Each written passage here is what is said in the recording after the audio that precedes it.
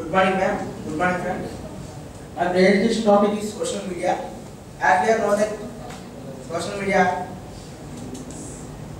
social media means they are the people that are using and communicating new technologies to the people throughout the world. Power our social media.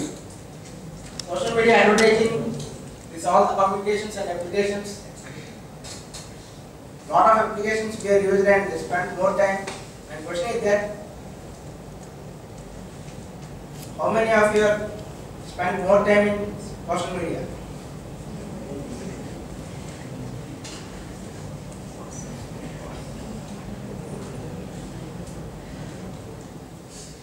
Uses of social media. First point is communication. Without communication, we cannot talk and we cannot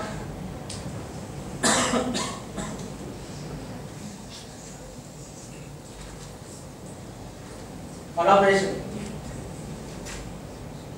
We collaborate each and every person to communicate with the era and opinions and reviews. Marketing. Entertainment means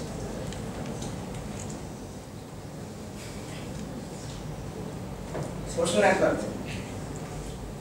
Media sharing, paid advertisement, brand monetization.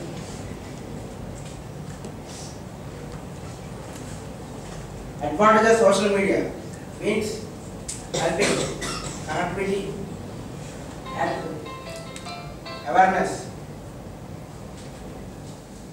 Disadvantage of social media means hacking, cybercrime, reputation,